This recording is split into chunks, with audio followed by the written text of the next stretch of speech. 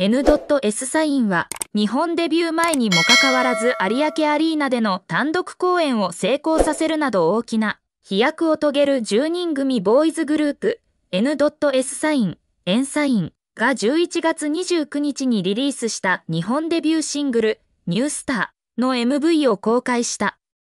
2023年8月9日に韓国で正式デビューし、11月には日本デビュー前に東京、有明アリーナでの単独公演を成功させるなど、大きな飛躍を遂げる N.S サインは、カズタ、ヒョン、エディ、ドハ、ジュニョク、ソンユン、ロビン、ハンジュン、ロレンス、ヒウォンの10人のメンバーで構成される韓国ボーイズグループ。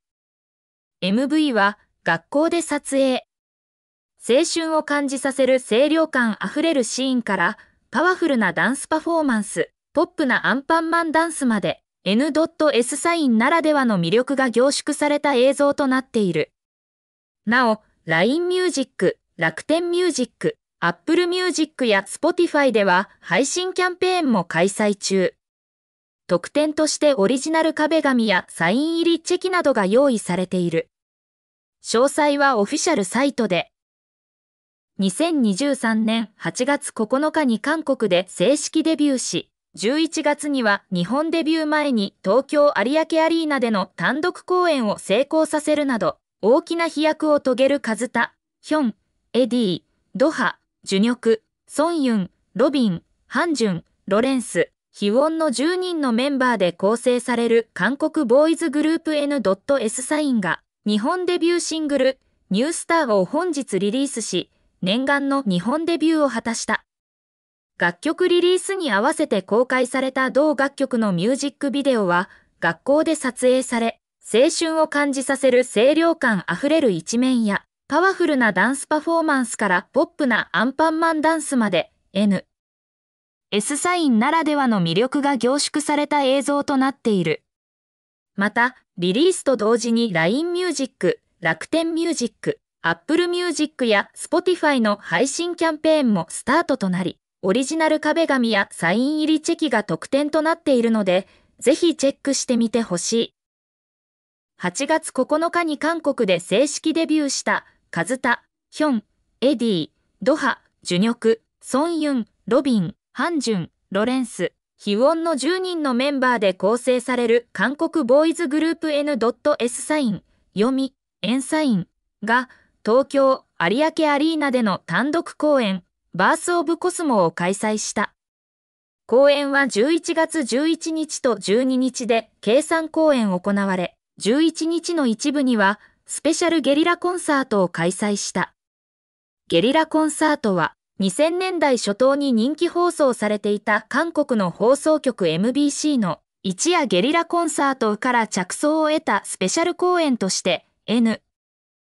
S サインのメンバーは観客の数を知らずに目隠しをした状態でスタッフの案内を受けてステージに登場した。その後、目隠しを外した N.S サインはアリーナ公演場を埋め尽くした観客の歓声に涙を流しながら感動のステージを披露した。うーでオープニングを飾った N.S サインはその後、様々なゲームやトークを行い、ファンと交流。また、多彩なソロ公演を通じてメンバーそれぞれの魅力を披露し、120分余りの時間を充実させた。続いて、11日2部と12日のスペシャルライブで再びステージに登場した N.S サインは、オープニングステージとしてワームホール、ニュートラックロックバージョンを披露。宇宙船に乗って降りてきたかのようなステージを演出し、ファンの熱い歓声を受けた。また Bounce、Salty、Beautiful など多くのファンに愛されている曲を次々と披露し、会場の熱気を一気に引き上げた。N.S サインの特別なステージは続いた。カズタ、ハンジュン、ジュニョク、ソンユン、ロレンス、ヒウォンの Fight for your right、エディ、ロビン、ドハの100 Miles ランニングなどユニットステージはもちろん、カズタのソロステージまで様々な構成でファンを楽しませる。特に、ワームホール、ルシファー・ライジングさん、ニードユー、では130人のダンサーと共にステージをさらに華やかに飾り、会場を沸かした。そしてアンコール曲として、11月29日にリリースする日本デビューシングルのタイトル曲、ニュースターを初公開し、3時間に及ぶ公演を締めくくった。2日間計3回の公演で2万4千人余りの観客と交流し、大型新人としての存在感を改めて証明した N.S サイン。彼らは所属事務所を通じて、デビューして間もないのに、こんなに大きな会場でステージを披露することができてとても幸せでした。私たちの挑戦に力を与えてくれたファンの皆さんに改めて感謝と愛を伝えたい。アリーナコンサートを通じ、さらに成長した姿をお見せするので、多くの関心をお願いします。と伝えた。